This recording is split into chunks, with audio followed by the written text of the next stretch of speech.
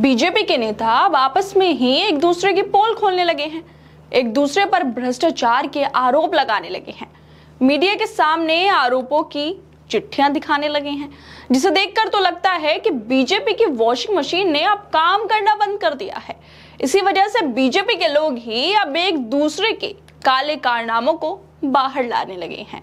जहाँ एक तरफ़ योगी आदित्यनाथ माफिया मुक्त यूपी की बात करते हैं, वहीं उनके नेता उनकी ही कुर्सी के नीचे अवैध कारोबार कर रहे हैं।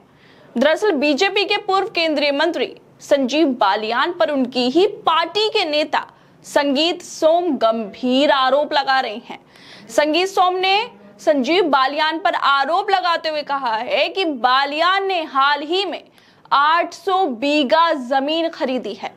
मंत्री पद का इस्तेमाल कर चिलर प्लांट लगाए हैं और इफ्को में भी साझेदारी की है। इसके साथ ही उन्होंने आगे कहा कि संजीव बालियान ने कई आपराधिक कांडों के आरोपियों को संरक्षण दिया है। बालियान ने ऑस्ट्रेलिया में भी ज़मीन की खरीदारी की है और चिलर प्लांट लगाने में मंत्री पद का जो उन्होंने इस्तेमाल किया है। ये सभी आरोप संगीत सोम के लेटर हेड पर जारी हुए हैं। और दोस्तों, सबसे बड़ा संगीत सोम ने बालियान पर यह लगाया है कि वो सपा नेताओं के साथ स्टील प्लांट के कारोबार में साझी हैं। अभी तो शायद संजीव बालियान मुजफ्फरनगर से अपनी हार का गम भूले ही नहीं होंगे, लेकिन संजीव का गम खत्म होने से पहले ही संगीत सोम ने उन पर भ्रष्टाचार के इतने बड़े आरोप लगा दिए हैं। उन्हें अपराधियों को संरक्षण देने वाला बता दिया है। वैसे बीजेपी के लिए नरेंद्र मोदी के लिए ये घड़ी बड़ी मुश्किल गुजर रही होगी।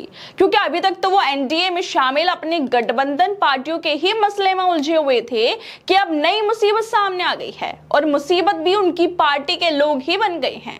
नरेंद्र मोदी का परिवार अब आपस में ही एक दूसरे की पोल खोलने लगा है। एक तरफ़ जहाँ संगीत सोम ने तो सिर्फ़ आरोप लगाए, लेकिन अब दूसरी तरफ़ संजीव बालियान के मित्र।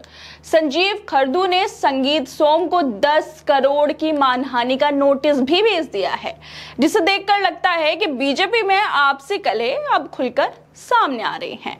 खूब प्रेस कॉन्फ्रेंस हो रही हैं, लेकिन अब देखना यह होगा कि प्रधानमंत्री मोदी और अमित शाह कब तक अपने पूर्व मंत्री के घर पर सीबीआई ईडी या इनकम टैक्स को भेजते हैं? यही आरोप, अगर किसी विपक्षी नेता पर लगे होते तो अब तक उसे जेल भेज दिया गया होता। लेकिन अपने नेताओं पर नरेंद्र मोदी कुछ नहीं बोल रहे हैं। वैसे बोलने के लिए बचा भी क्या है? क्योंकि आरोप लगाने वाले भी बीजेपी का है और जिस पर आरोप लगे हैं, वो भी बीजेपी का नेता है।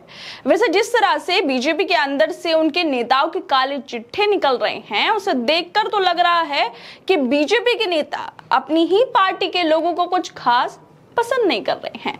लेकिन यहाँ पर सबसे बड़ा सवाल ये है कि अगर ये आरोप किसी विपक्ष के नेता पर लगे होते तो हमारा मेन स्ट्रीम मीडिया डिबेट करते करते नहीं थकता। खूब शोज़ किए जाते। लेकिन अब जब संगीत सो संजीव बालियान की पोल खोल रहे हैं तो क्या सत्ता के साथ कंधे से कंधा मिलाकर चलने वाला हमारा राष्ट्रीय मीडिया इस मुद्दे को उठाएगा?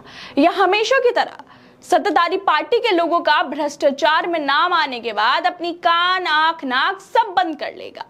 वह सब देखना यह होगा कि संजीव बालियान पर कितनी जाँच होती है।